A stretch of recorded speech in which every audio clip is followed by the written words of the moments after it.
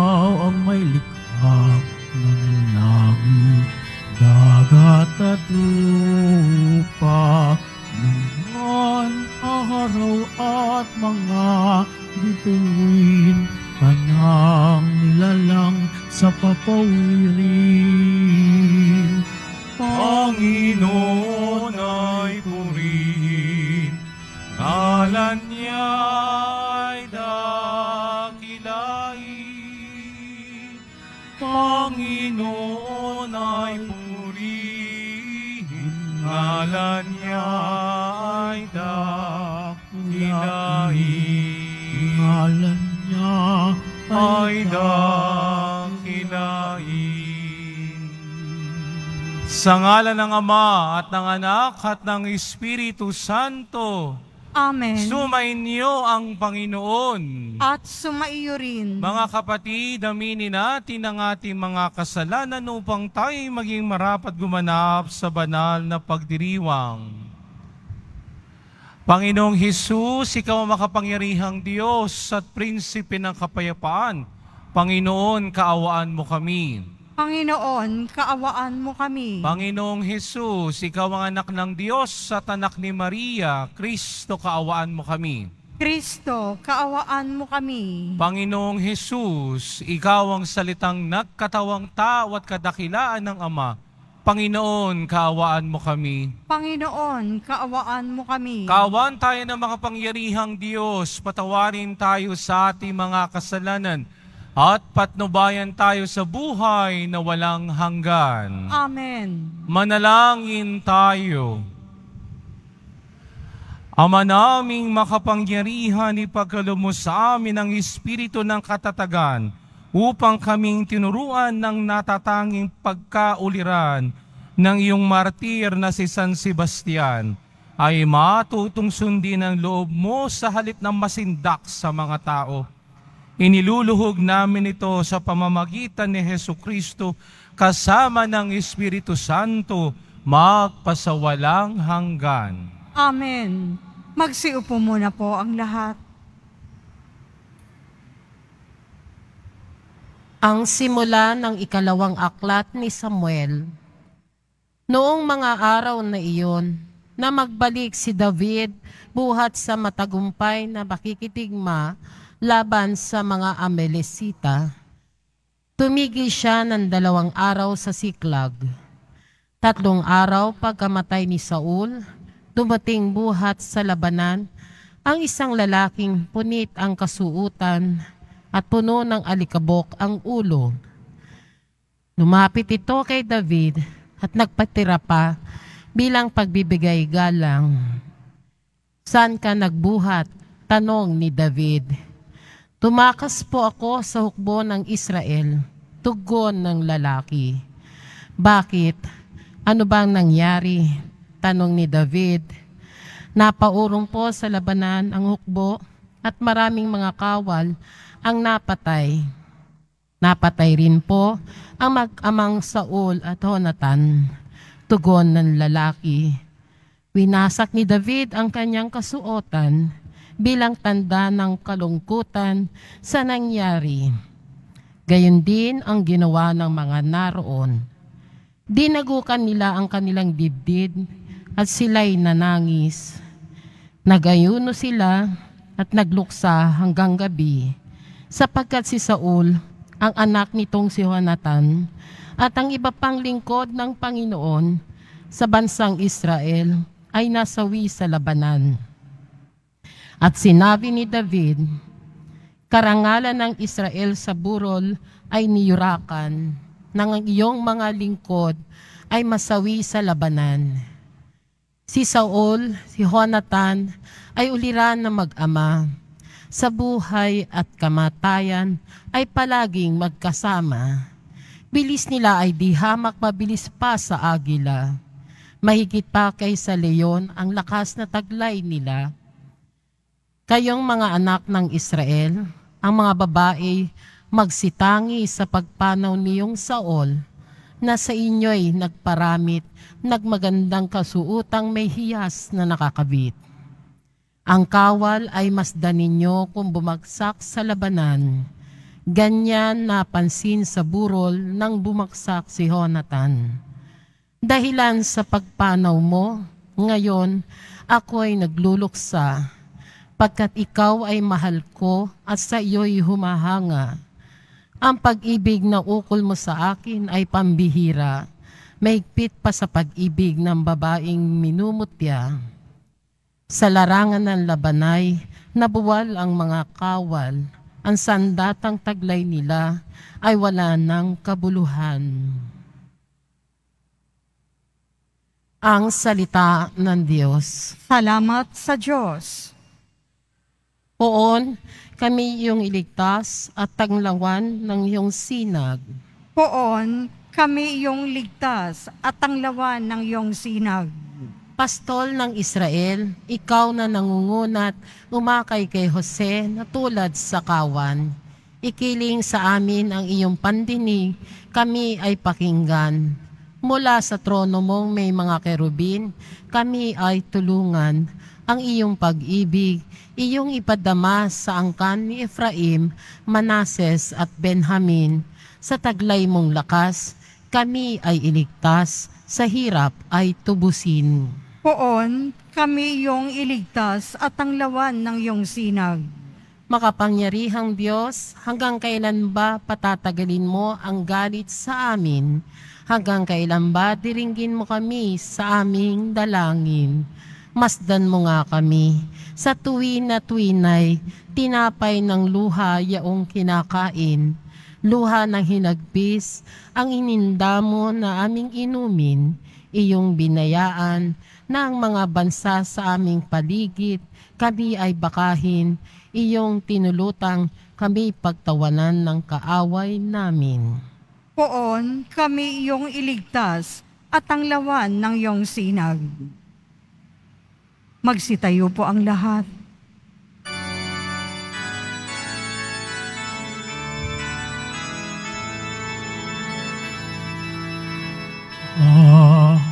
and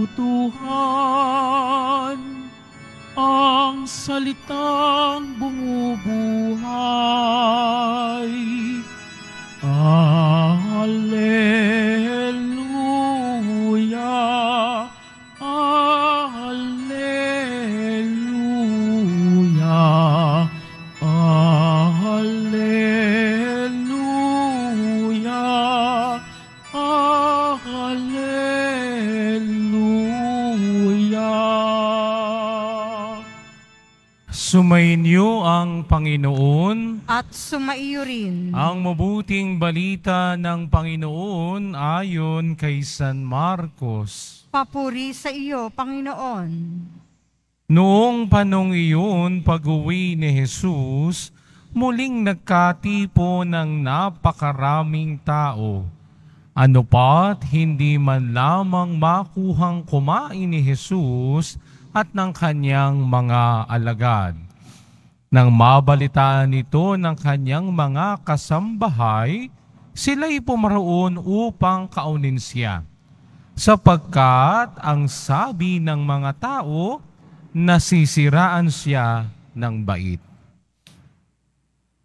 Ang mabuting balita ng Panginoon. Pinupuri ka namin, Panginoong Heso Kristo. Magsiupo muna po ang lahat. Magandang magandang umaga po sa inyong lahat. Pakibati ang katabi, mahal ka ni Lord. Ayan. Palakpakan natin ang Panginoon sa umagang ito. Salamat sa Diyos, buhay tayo. Amen? Salamat sa Diyos kahit mahal ang bilihin, nakakakain pa rin tayo. Amen? Salamat sa Diyos, mahal tayo ng poong Jesus Nazareno. Amen? Palakpakan natin ang Panginoon sa umagang ito.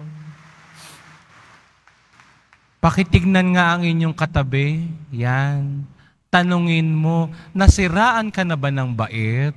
Ayan. Minsan, nasasabi ng ibang tao sa akin, baliw ka ba? Ayan. May mga tao, pagdating sa pag-ibig, nasisiraan ng bait. No? Ay, mahal ko siya, Father. Bakit? Yung pagmamahal mo nabibili sa palengke. Ayan tayo eh. No? May ibang mga tao nasisiraan ng bait pagdating sa negosyo. No? Ang tingin na sa atin, puro dollar at puro peso sign. No? May mga tao na nasisiraan ng bait dahil sa problema sa buhay. At yun ang mas mahirap, no? Kaya nga sa atin, naglunsad tayo ng mental health, no? Sapagkat pinapaalalahanan ako at pinapaalalahanan tayo na kailangang alagaan ang ating pag-iisip. Amen? Pero merong isang mga, pero may mga pagkakataon na kapag tayo gumagawa ng tama, bakit sinasabi nila na nasisiraan tayo ng bait? Halimbawa, naglalakad ka dyan, dyan sa gilid ng simbahan. May nakita kang basura, itinapon mo sa basurahan. Anong sasabihin ng ilan? Nasisiraan na to ng bait. Meron namang maglilinis dyan. Diba? O di rin naman kaya, ngayon ay Sabado, magsisimba ka. Anong sasabihin ng ilan? Ay bakit Sabado ka magsisimba? Dapat biyernes, nasisiraan ka na ba ng bait? No? Ay ito, malala. Kita na natin no, na may mga tao na talaga naman ay garapalan ang pandaraya, no? garapalan ng ginagawang uh, hindi maganda sa lipunan, ayun, nakaupo pa rin. Di ba? Nasisiraan na ba tayo ng bait? No? Sa ating mabuting balita, yung mga kasambahay ni Jesus, pinuntahan siya bakit? Narinig ng maraming, narinig nila sa mga tao, nasisiraan na ba ng bait ang Panginoong Jesus? Bakit? Ang Panginoong Jesus nagpapagaling, nagpapalayas ng demonyo, nangangaral ng mabuting balita, at sa dami ng mga tao na gustong makapunta sa Kanya, kahit pagkain, kahit sila'y gusto nilang kumain, hindi makakain. Bakit? Ay sapagkat ang dami ng tao eh. Anong sinasabi ng ilan? Nasisiraan na siya ng bait. Pero kahit ganoon ang sinasabi ng mga tao, si Jesus patuloy pa rin sa paggawa ng tama at mabuti. Amen? Palakpakan natin ng Panginoon sa umagang ito. Yan ika ang ating tatandaan. Tayong mga deboto ng pong Jesus Nazareno. Na kahit tayo ay sinasabihan ng kung ano-ano, gagawa pa rin tayo ng mabuti at tama. Amen? Sapagkat ang totoong deboto ng pong Jesus Nazareno, kahit anong sabihin ng ilang tao, gagawin natin ang kagustuhan ni Jesus. Amen? Palakpakan ng Panginoon sa umagang ito. Anong nangyari nung unang pagbasa mula sa aklat ni Samuel? Narinig natin na si Saul ay namatay. At si David, anong ginawa ni David? Nagluksa siya, umiyak siya. Pero kung titingnan niyo yung kwento, si Saul, sinisiraan si David. At hindi lang yan, si Saul ay ano, gustong ipapatay si David. Pero ano ang ginawa ni David? Nung mabalitaan niyang mamatay si Saul, nang mabalitaan niyang namatay din ang kanyang pinakamamahal na kaibigan na si Jonathan, siya'y nagluksa. Para sa ilan na makarinig, bakit ka magluluksa? Eh, iyan yung taong gustong pumatay sa iyo. Subalit napakaganda nung sinabi ni David kahapon, no? Sa Ebanghelyo sapagkat nasabi niya, ba't mo ba ako gustong patayin? Ano bang nagawa ko sa iyo? Pero dahil ikay pinili ng Diyos, hindi kita pwedeng patayin, ginagalang kita. Yun ang makikita natin kay David sa unang pagbasa. Na bagamat silang dalawa ni Saul ay hindi naging magandang ugnayan, naroon pa rin ang paggalang ni David kay Haring Saul. Naroon pa rin ang pakikisa ni David kay Haring Saul. At naroon din ang pagmamahal ni David kay Haring Saul na bagamat siya ginawa ng hindi maganda, ginawan pa rin ng maganda ni David si Haring Saul. Kaya nung siya ay pumanaw, nagluksa si David. Bakit? Sapagkat para kay David, ang dapat na mangunguna sa kanya ay ang kabutihan, ang tama, hindi ang sama ng loob, hindi ang paghihin, paghihiganti, sapagkat siya din man ay pinili ng Panginoon. Amen? At ito din tinuturing ng mabuting balita. Sa mata ng mundo, kapag tayo gumagawa ng tama, tayo ay nasisiraan ng bait. Sa mata ng mundo, kapag ginagawa natin ng tama, nasisiraan tayo ng bait. Sa mata ng mundo, kapag sinusunod natin ng Diyos, tayo ay nasisiraan ng bait. Pero ang katotohanan, ang mundo ang baliw at tayo ang nasa tama Amen? Kaya tama din yung sinasabi ng kanta, sinong dakila, sino ang tunay na baliw. Ang totoong dakila ay ang sumusunod at nagsasabuhay ng aral ng pong Jesus Nazareno. Amen? At ang baliw ay ang ayaw tumalima sa halimbawa at aral ng pong Jesus Nazareno. Amen? Palakpakan natin ang Panginoon sa umagang ito. At siya na matutunghayan natin sa ating santo ngayong araw na ito, si San Sebastian. No? Si San Sebastian ay isang Romanong sundalo. Subalit nang malaman niya ang tungkol kay Jesus, iniwan niya ang hukbong Romano. Siya'y nagpabinyag at siya'y nangaral tungkol kay Jesus sa galit ng emperador sapagkat ang emperador ay hindi naniniwala kay Kristo, siya ay ipinagapos at siya ay pinana. No? Yan ang kalimitang makikita natin pag kay dumalaw dito sa simbahan ng San Sebastian. Yun ang makikita natin, pinana si San Sebastian. Subalit hindi siya doon namatay. Mayroong isang kristyanong babae na ang pangalan ay Irene, no? na siya ay tinulungan at siya ay tinulungan niyang gumaling. At nung gumaling si San Sebastian, humarap uli siya sa emperador upang ipangaral si Kristo. Sa mga nakikinig sa kanya noon, sasabihin nila, nasisiraan ka ng bait. Bakit? Kaharap mong emperador, sasabihan mo niyan. Di ba? ipinana ka na, pinapana ka na, para ikaw ay ano, mamatay sapagkat hindi gusto ng emperador na ipangaral mo si Kristo. Heto ka na naman. Subalit para kay San Sebastian, siya ang nasa katinuan. Bakit? Ipinangaral niya ang Panginoong Jesus. At dahil dyan, siya ay ipinakulong at pinapugutan ng ulo. Naging Walang saysay ba ang kinamatayan ni San Sebastian? Hindi. Bakit? Sapagkat ang mga dugo ng mga martir, ang mga nagpalan, naging parang fertilizer, no?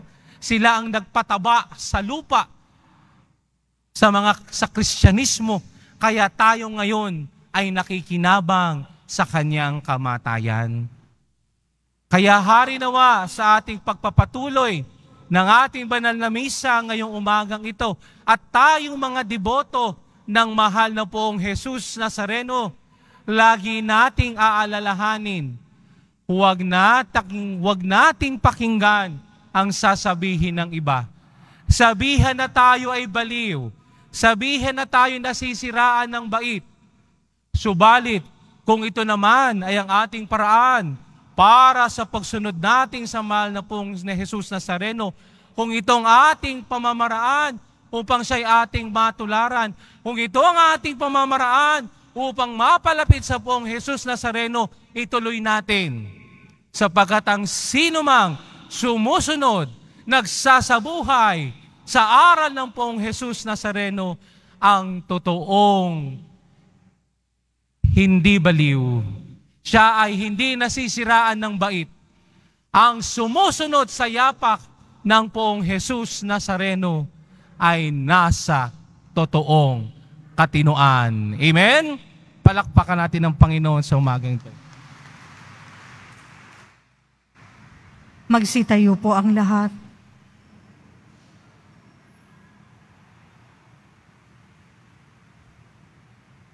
Minamahal kong mga kapatid, manalangin tayo sa Ama sa Langit upang matutunan natin ang kanyang anak na si Yeso Kristo ang kahulugan ng paglilingkod.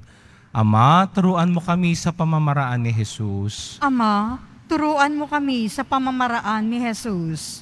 Bilang isang simbahan, naway lumabas tayo sa lungga ng ating sariling daigdig at maglingkod sa tao ng may pagpapakumbaba Manalangin tayo. Ama, Ama, turuan, turuan mo kami sa pamamaraan ni Jesus.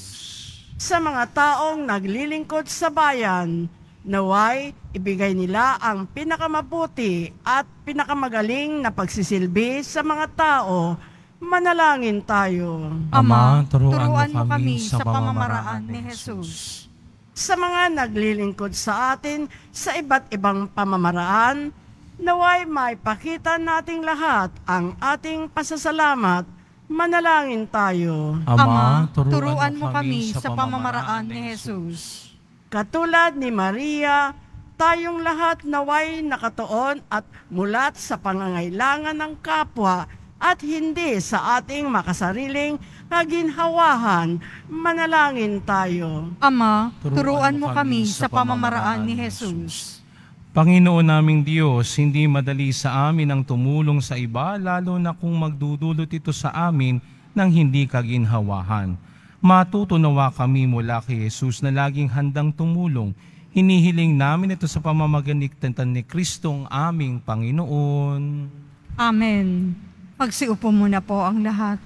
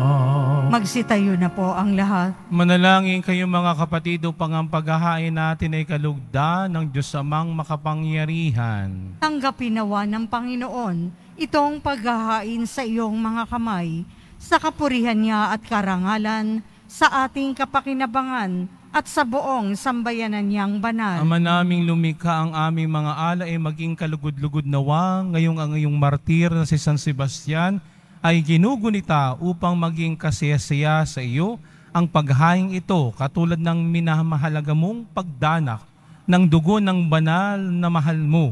Sa pamamagitan ni Yesu Kristo kasama ng Espiritu Santo, magpasawalang hanggan. Amen. Sumainyo ang Panginoon. At sumaiyo. Itaas sa Diyos ang inyong puso at diwa. Itinaas na namin sa Panginoon. Pasalamatan natin ang Panginoong ating Diyos. Marapat na siya ay pasalamatan. Ama naming mga pangyarihan, tunay ngang marapat na ikaw ay aming pasalamatan, ngayong aming kagalakan na si San Sebastian ay parangalan. Siya'y kapanalig naming may paninindigan na ikaw ay ipahayag kahit kami mamatay. Sapagkat minarapat mong kanyang matularan ng iyong anak na naghain ng sariling buhay tulad ng naganap sa iyong anak, ang dugo ng mga martir ay dumanak hindi dahil sa katatagang likas, kundi dahil sa iyong bigay na lakas. Kaya kaisa ng mga anghel na nagsisiawit ng papuri sa iyo nang walang humpay sa kalangitan, kami nagbubunyi sa iyong kadakilaan.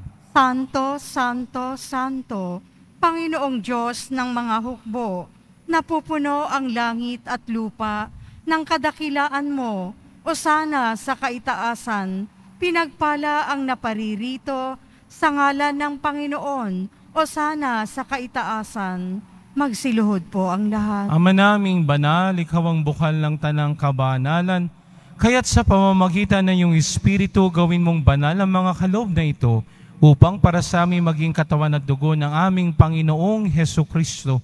Bago niya pinagtiis ang kusang loob na maging handog, hinawakan niya ang tinapay, pinasalamatan kanya, pinaghati-hati niya iyon, iniabot sa kanyang mga alagad at sinabi, Tanggapin ninyong lahat ito at kanin, ito ang aking katawan na ihahandog para sa inyo.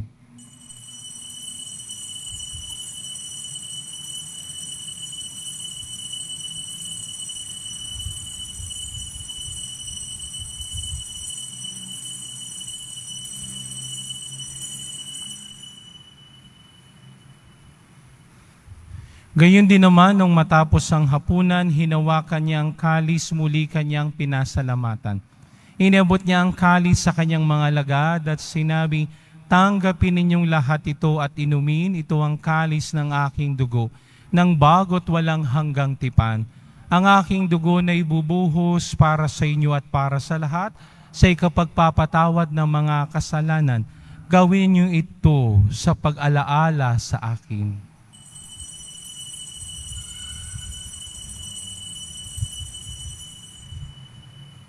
Magsitayo po ang lahat. Ipagbunyi natin ang misteryo ng pananampalataya. Si Kristo'y namatay, si Kristo'y nabuhay, si Kristo'y babalik sa wakas ng panahon. Ang mga ginagawa namin ngayon ng pag-alaala sa pagkamatay at maling pagkabuhay ng iyong anak, kaya't iniaalay namin sa iyo ang tinapay na nagbibigay buhay at ang kalis na nakakalob ng kaligtasan. Kami nagpapasalamat dahil kami iyong minarapat at tumayo sa harap mo para maglingkod sa iyo. Isinasamo namin kaming magsasalo-salo sa katawan at dugo ni Kristo ay mabuklod sa pagkakaisa sa pamamagitan ng Espiritu Santo. Ama, lingapin mo ang iyong simbahang laganap sa buong daigdig.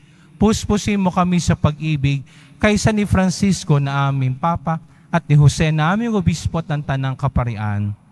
Alalahanin mo rin ang mga kapatid naming nahimlay na may pag-aasang sila'y muling mabubuhay, gayon din ang lahat ng mga pumanaw. Kawan mo sila at patuloyin sa iyong kaliwanagan.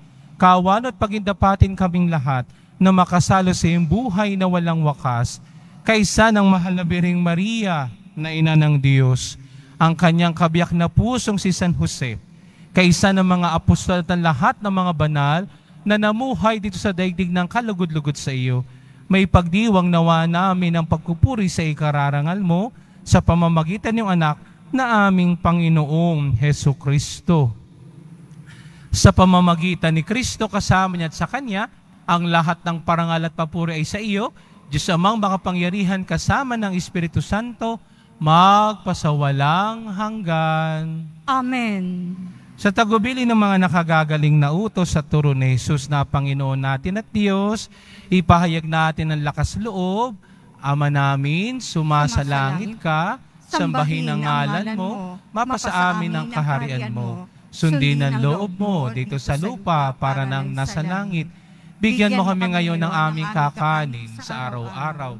at patawarin mo kami sa aming mga sala para ng pagpapatawad namin sa nakakasala sa amin, at huwag mo kami ipahintulot sa tukso, at iadiya mo kami sa lahat ng masama. Hinihiling namin kami iadiya sa lahat ng masama, pagkalooban mo kami, pagkalooban ng kapayapaan araw-araw, iligtas sa kasalanan at ilayo sa lahat ng kapahamakan, samantalang aming pinananabikan ng dakilang araw ng pagpapahayag ng tagapagligtas namin si Heso Kristo. Sapagkat iyo ang kaharian at ang kapangyarihan at ang kapurihan magpakailanman. Amen. Panginoong Heso Kristo, sinabi mo sa iyong mga apostol, kapayapaan ang iniiwan ko sa inyo. Ang aking kapayapaan ang ibinibigay ko sa inyo. Tunghay mong aming pananampalataya at wag ang aming pagkakasala. Pagkaloban mo kami ng kapayapaan at pagkakaisa ayon sa iyong kalooban, kasama ng Espiritu Santo magpasawalang hanggan. Amen. Ang kapayapaan ng Panginoon ay laging sumainyo. At sumaiyo rin. Pagbigayan tayo ng kapayapaan sa isa't isa. Kordero ng Diyos na nag-aalis ng mga kasalanan ng sanlibutan, maawa ka sa amin. Kordero ng Diyos na nag-aalis ng mga kasalanan ng sanlibutan, maawa ka sa amin. Kordero ng Diyos na nag-aalis ng mga kasalanan ng sanlibutan, ipagkaloob mo sa amin ang kapayapaan. Magsiluhod po ang lahat. Ito ang kordero ng Diyos, itong nag-aalis sa mga kasalanan ng sanlibutan, mapapala tayong inaanyayahan sa kanyang piging. Panginoon, hindi ako karapat-dapat na magpatuloy sa iyo, ngunit sa isang salita mo lamang ay gagaling na ako.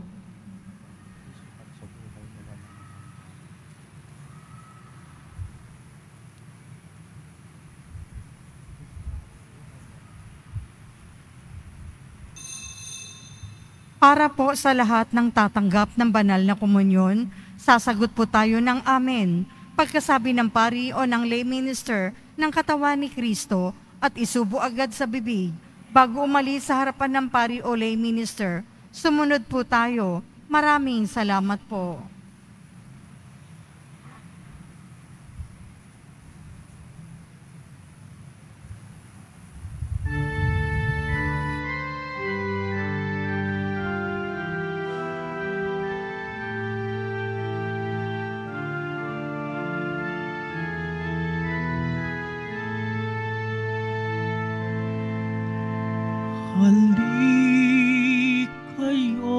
Mga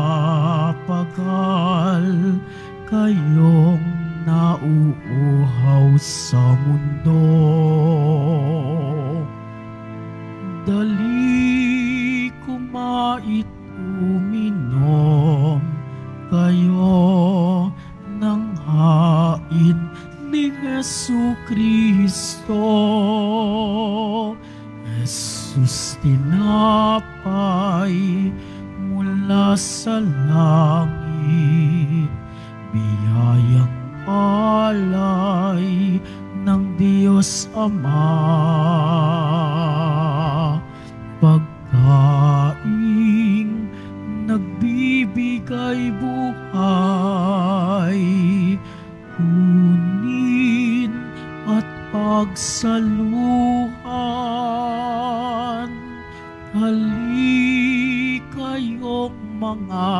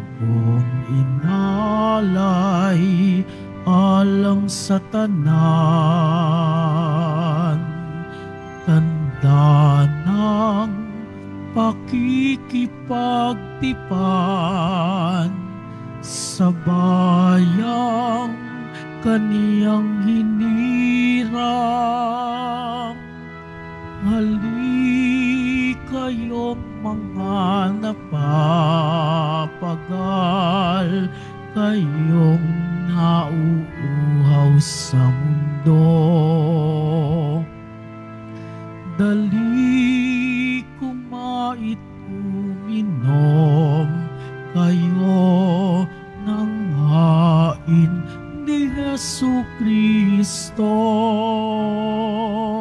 Jesus ang tubig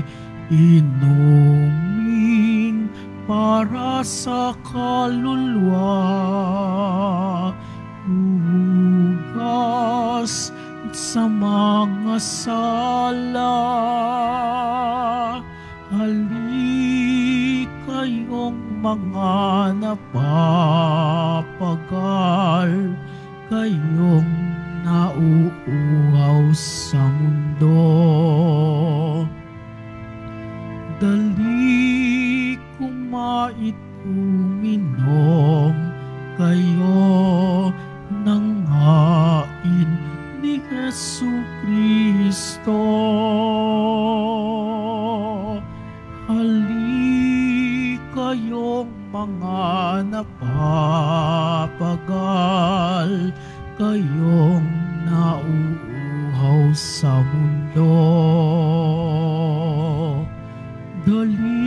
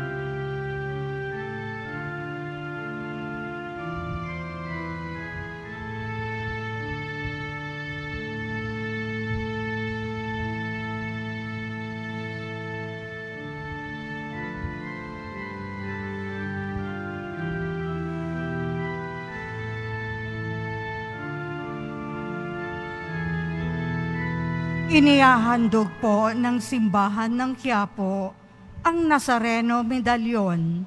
Ito po ay nagkakahalaga ng 20 pesos.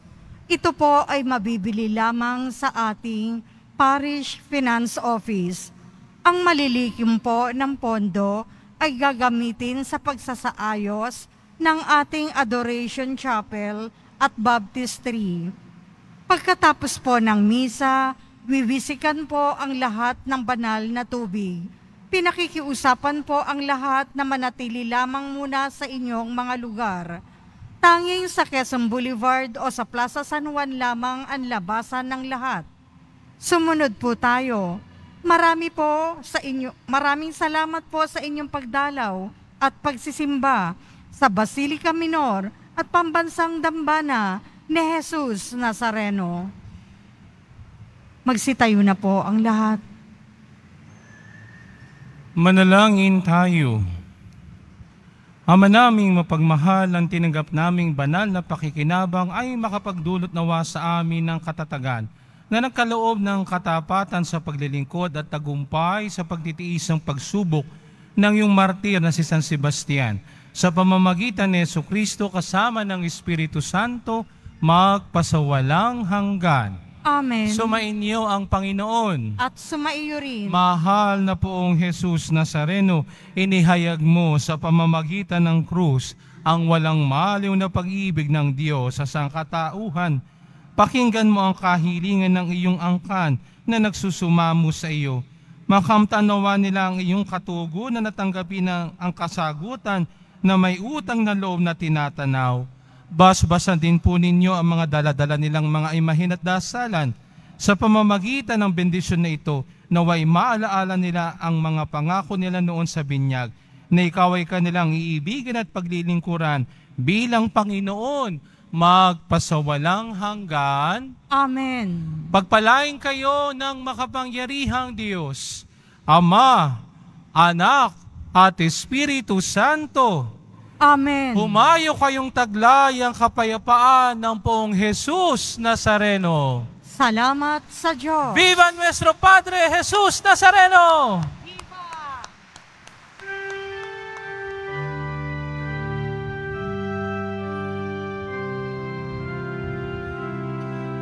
Nuestro Padre Jesús Nazareno, sinasamba ka namin, pinipintuho ka namin, aral mo ang aming buhay at kaligtasan. Nuestro Padre Jesús Nazareno, iligtas mo kami sa kasalanan. Ang krus mong kinamatayan ay sagisag ng aming kaligtasan. Nuestro Padre Jesus Nazareno, dinarangal ka namin. Nuestro Padre Jesus Nazareno, niluluwalhati ka namin. Nuestro Padre Jesus Nazareno, dinarangal ka namin. Nuestro Padre Jesus Nazareno, niluluwalhati ka namin.